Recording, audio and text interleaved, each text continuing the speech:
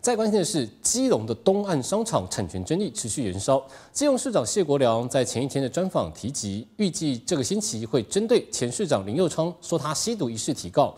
隔了一天，林佑昌今天出席嘉义县二二八纪念活动时，也回击指称，他没有直接说谢国良吸毒，他更紧咬先前警方夜闯商场，要谢国良说清楚。对此，基隆市府出面表示，并非市长谢国良下的命令，强调一切都依契约办事。基隆东岸商场争议持续延烧，前后任市长互批，炮火激烈。日前内政部长林佑昌这一句，更让基隆市长谢国良气愤喊告。民众看到都觉得说，呃，这个谢国良市长是不是疯了哦？呃，是喝醉酒了，还是嗑药拉 K？针对于他指控我吸毒的部分，我这个礼拜会完成地状。